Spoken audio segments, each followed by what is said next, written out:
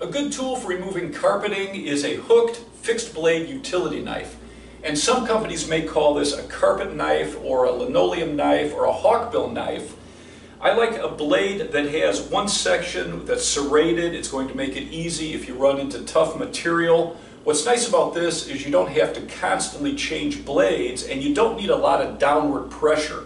You're going to use light downward pressure and a pulling action to do the cutting so it makes it a lot easier.